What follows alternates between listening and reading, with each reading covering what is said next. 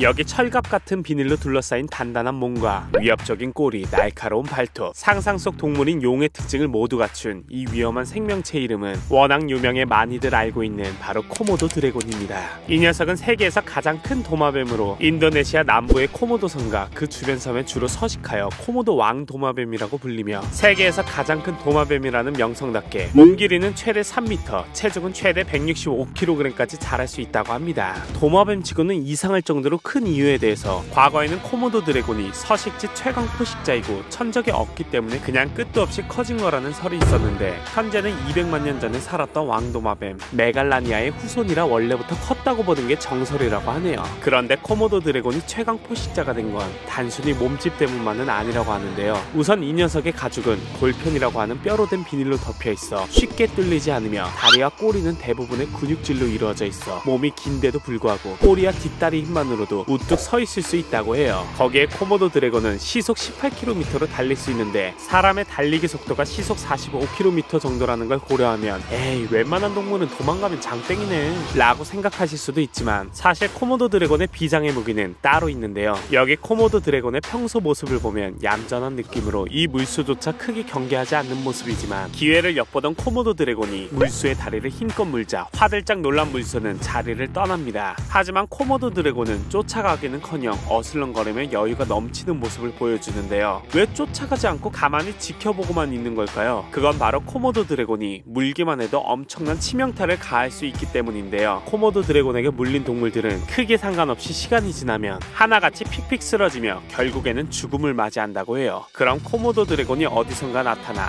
야무지게 만찬을 즐기죠.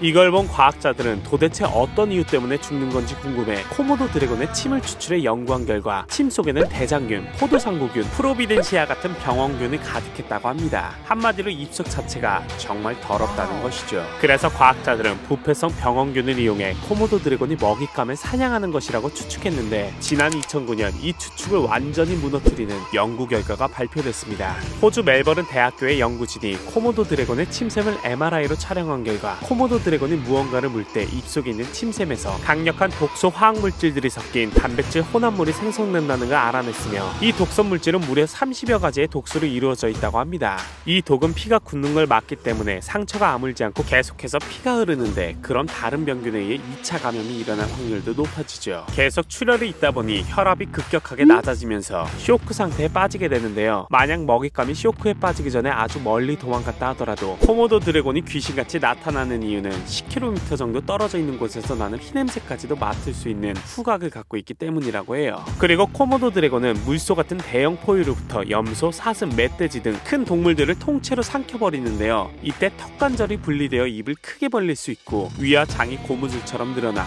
큰 동물들도 한 번에 삼킬 수 있죠. 한 자리에서 자신의 무게의 80%에 해당하는 먹이를 먹을 수 있다고 하니 웬만한 먹방 유튜버는 비비지도 못할 것 같지만 신진대사가 느리기 때문에 1년에 이런 식으로 12번 정도만 먹어도 살아갈 수 있다고 합니다. 오늘은 입속이 더러워서 사냥을 잘하는 거라고 오해를 받았지만 사실은 도 도구로 먹잇감을 사냥하는 왕도마뱀 코모도 드래곤에 대해 알아보았습니다. 코코브라가 준비한 이야기는 여기까지였습니다. 재밌게 보셨다면 구독과 좋아요 부탁드립니다.